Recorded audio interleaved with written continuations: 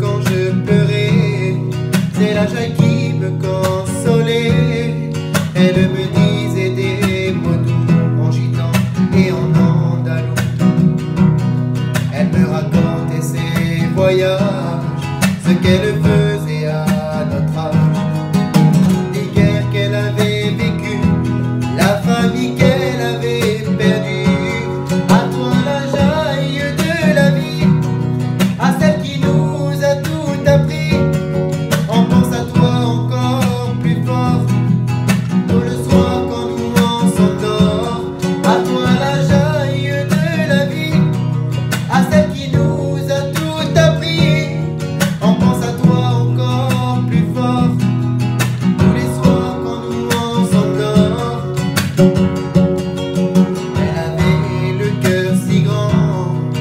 les gens pouvaient vivre en elle.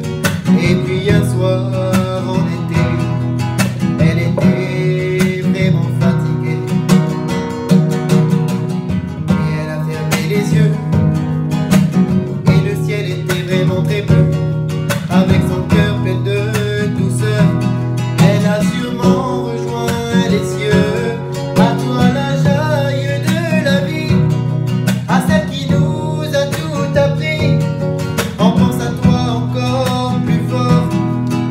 le soir quand nous